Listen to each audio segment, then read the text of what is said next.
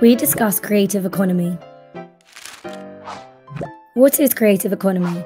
It is an economy that depends on the creative industries to generate an income.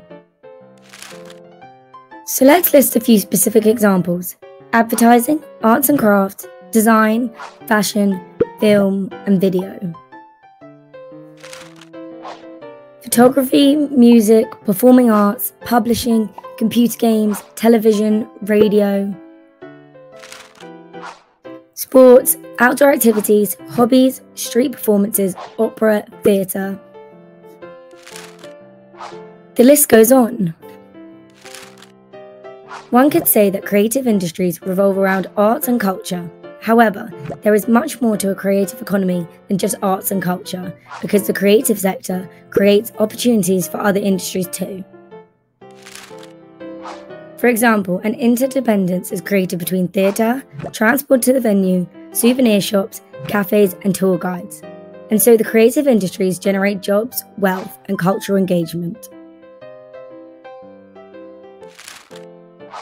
The creative industries have become particularly important to the well being of countries. Business, technology, and industry in general all benefit from the creative industries.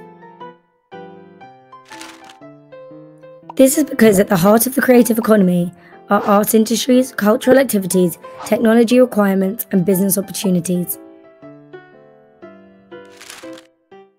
To support continued growth of creative industries, governments need to contribute to the financing of activities as well as the financing of professionals in the creative and cultural sectors. Governments can also do their part through the offering of policy guidance, entrepreneurial training, and marketing programs. In addition, information about the business models and opportunities for entrepreneurs entering the creative industry will further boost creative economies. Finally, the sharing of best practices as well as financing startup companies in the creative sector can greatly aid creative economies and thereby increase the financial well-being of communities.